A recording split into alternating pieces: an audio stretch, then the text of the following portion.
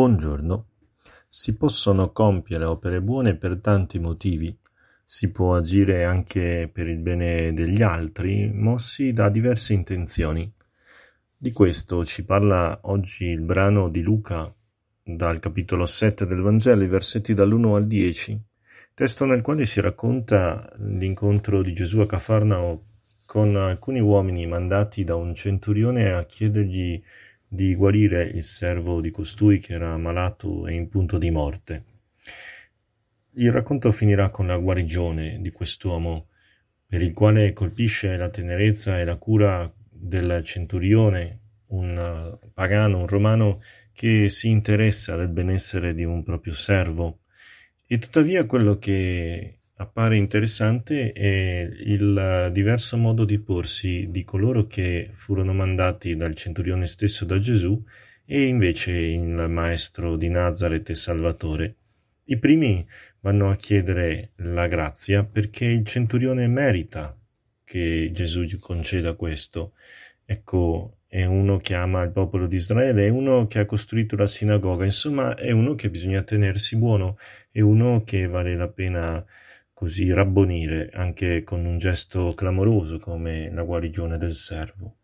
Per i giudei non interessa tanto il bene dell'uomo che viene sanato e tantomeno il bene di colui che chiede la grazia.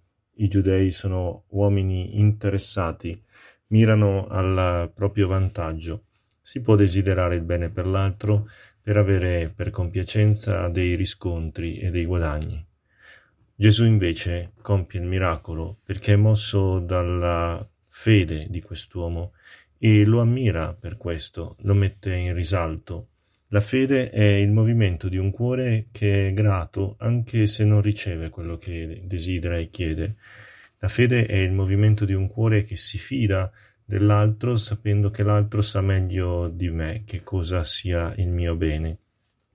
Il centurione si fida di Gesù è grato anche solo per il fatto di aver ricevuto risposta, non si sente all'altezza, non si sente degno, ed è questa fede che Gesù sottolinea e dalla quale si apre una pista perché possa avvenire la guarigione del servo. La stessa espressione che ha usato il centurione, anche noi la usiamo durante la Santa Messa. Non sono degno, Signore, che tu entri sotto il mio tetto. Lo diciamo davanti all'Eucaristia, prima di ricevere la comunione tra le mani o in bocca, prima di nutrirci del corpo di Cristo.